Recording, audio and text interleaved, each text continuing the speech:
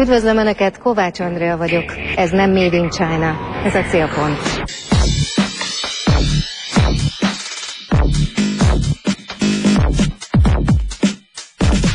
Egy éve ül előzetesben, a legkeményebb bűnözőknek kijáró biztonsági fokozatban őrzik. A válthatóság szerint ő az első magyar terrorszervezet vezetője. Az ügyészség megtiltotta, a bíróság megengedte, megszólalhatott a Hunnia mozgalom vezetője. Budaházi György a célpontnak adta a letartóztatása utáni első interjút.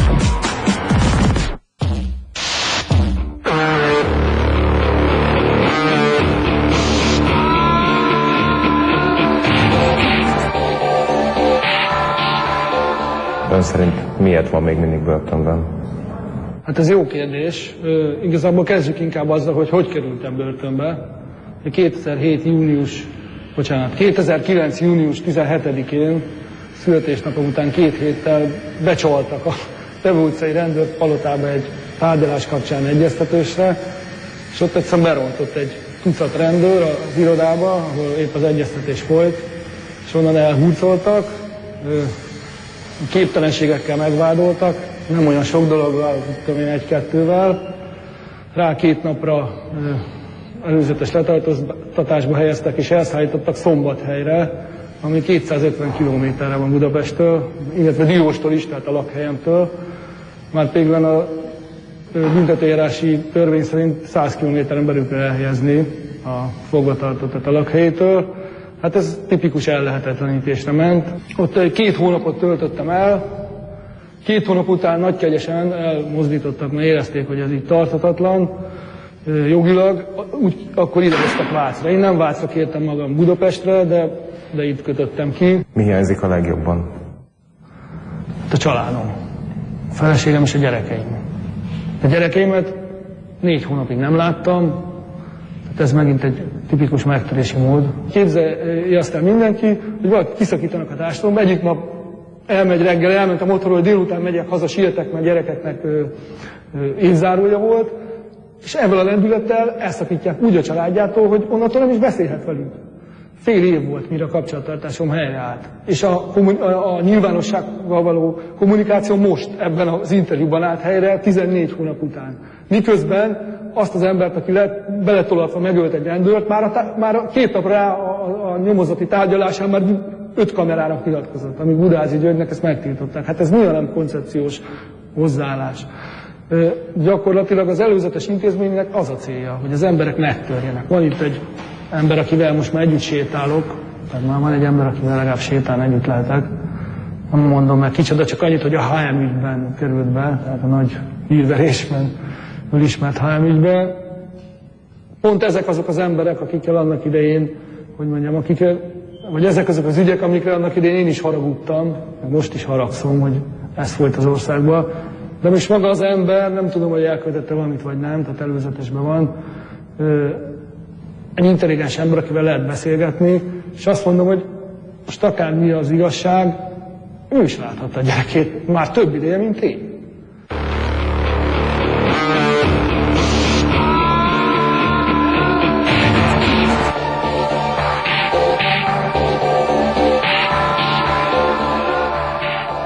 Csak én vagyok mindig börtönben, ez egy külön érdekesség, mert ugye hát most független attól, hogy mi az ügy, de meg kell nézni, hogy a 18 embert gyanúsítottak meg, abból meg még van egy 19 akit nem találtak meg.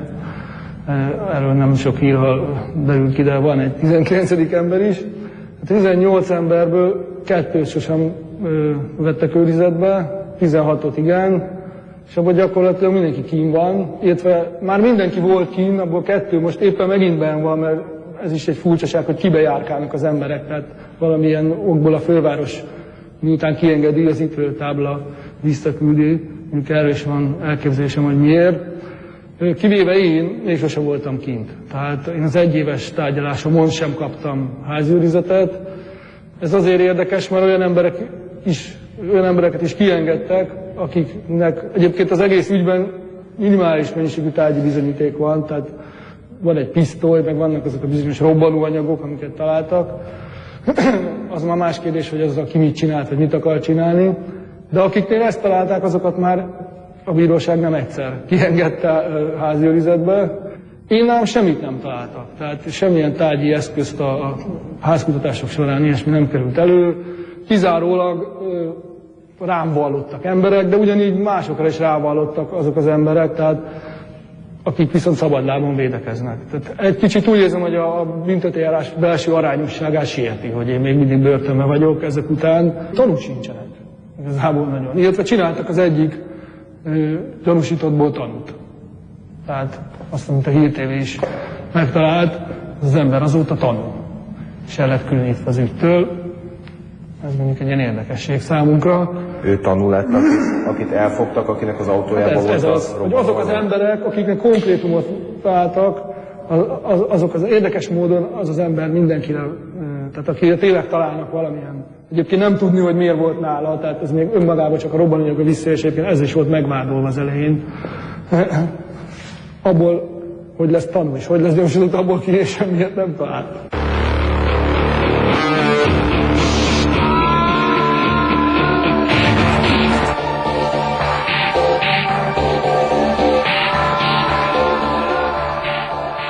2007-ben Torockai Lászlóval együtt hozták létre a Hunnia mozgalmat. Miért volt erre szükség akkor?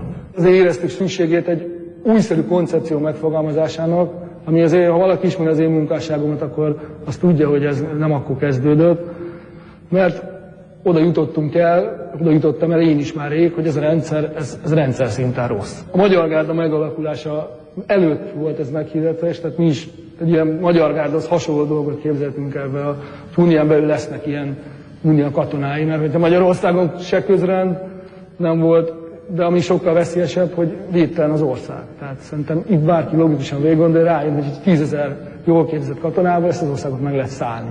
Egyszerűen annyira nincs hadserege, ami van működőképes hadserege, vagy, vagy jól képzett katonai, az is külföldön van, de néhány ezer ember. Tehát arra gondoltunk, hogy azok a fiatalok, akiket már nem visznek el katonának, akik ö, ebben egyébként megvan a hazafias mozgalom, legalább valamilyen szintű fizikai kiképzést kapjanak, valamilyen, valamilyen edzések legyenek, valamilyen közösségi szemléletet vegyenek föl. Közben megalakult a Magyar Gárda, és ez némiképp kifogta a vitorlámból a szelet, de az a baj, hogy a Magyar Gárda nagyon sok embert be tudott szervezni, de nem tett mellé szerintem igazából egy ilyen, ilyen jellegű, mit tudom én, tehát egy ilyen sportszerű, vagy valamilyen kiképzésféle dolgot, de hát mondjuk ez már egy másik téma. Hunniában voltak ilyen kiképzések? Hát most, hogy mi volt Hunniában konkrétan, sajnos ez már az ügy szempontjából releváns, mert össze van keverve a magyarok nyilai meg a Hunnia teljesen. Most nem akarok mélyen belefolyni. Elindult. Mikor hallott először a Magyarok Nyilai Nemzeti Felszabadító Hadseregről? Hát én úgy emlékszem, hogy ez a, ez a név, ez már jó pár évvel ezelőtt, tehát nem is 2006 vagy 2007-ben, hanem valamikor 2002 után egyszer egy, egy újságcikkben, talán egy magyar jelenben, vagy valahol. Valahol láttam egyszer egy olyan ö, közleményt, vagy nem tudom micsoda, egy ilyen levelet, vagy befénymásolt levelet, ahol már ez a... Egyébként a sajtó akkor nem kapott rá valamiért, így visszaemlékezve, de akkor ez a név volt aláírva. Tehát azt hiszem, ilyen betűkből összerakott levél volt. Önnek van-e köze a Magyarok Nyilai Nemzeti Felszabadító Hadsereghez? Most ez milyen kérdés? Tehát alapvetően az összes vád ellen, és az, össz, vagy az összes gyanúsítás ellen, ami ezzel kapcsolatos, folyamatosan tiltakoztam és panaszt tettem, tehát erre egyértelműen megadtam a választ a, a, az, az eljárás során, de mondom, az ügy szempontjából most nem boncolgathatom sajnos mélyebben, tehát el, elutasítottam ezeket a vádakat. Amikor hallott ezekről a támadásokról, mi volt a véleménye róluk? Mondjuk Hiller István, akkori oktatási miniszter ház elleni merénylet, ugye rálőttek, vagy hagyjuk ezt a merénylet szót, mert itt azért merényletek nem történtek. Tehát eleve az egész ügy egy borzalmas nagy túlzásokkal, ilyen minősítési túlzásokkal megtűzelt koholmányügy. Tehát, hogyha mondjuk példát akarok hozni, a, a lakosság célból meg, a lakosság megfélemlítése célból elkövetett terrorcselekményre, mert ilyenek vannak, akkor az mondjuk a 2006. október 23-a volt, amikor belelovas rohamoztak és fe- fejmagasságba lőttek nem csak gumigolyóval, hanem gránátokkal is, ekkora ilyen 20 centis nagy füstgránátokkal bele az emberek közé, és konkrétan azért, hogy nem merjenek tüntetni az ellen a kormány ellen, aki a rendőrséget erre utasította, és ez valamilyen szinten be is jött. Tehát ez szerintem sokkal inkább kimeríti ezt a definíciót, mint az, hogy valaki ezen események kapcsán, hogy ezeknek a büntetlenséget látva, és az, hogy nincs következménye ennek, hogy ilyeneket csinálnak az emberekkel, sőt, még a tüntetőket állítják bíróság elé mindenféle koholmány vádakkal, elkeseredésében mondjuk bosszúban egy MSZP irodára rádobott egy molotov és abban keletkezett tizenvalány ezer forint kár, mert ilyen ügyek vannak. Miközben ez van lakosság megfejlődése céljából elkötött terrorcselekménynek kikiáltva az ügybe. A kérdésre visszatérve, azt gondolom egy válaszreakciója volt valakinek arra, ami történt. Mert ugye ezt pont a Hír TV-ben sokszor hallottam ezt a mondatot, hogy mi volt előbb. Szilvási Györgyben terrorfenyegetés. Aztán volt még egy hasonló ilyen szembeállítás, tehát az összödi beszéd vagy a tévéjóslam. Tehát ki kezdte ezt a dolgot, kitette az országot tacsra, mikor lebukott az egésszel, ki volt az, aki az emberekbe belelövetett, innen indulnak ki a dolgok. Tehát, hogyha igaz ez a magyarok nyilai dolog, és nem egy kitaláció, akkor azt mondom, hogy valószínűleg erre valamilyen válasz. Ön tudja azt, hogy kik lehettek a magyarok nyilai? Még a tüntetésekre még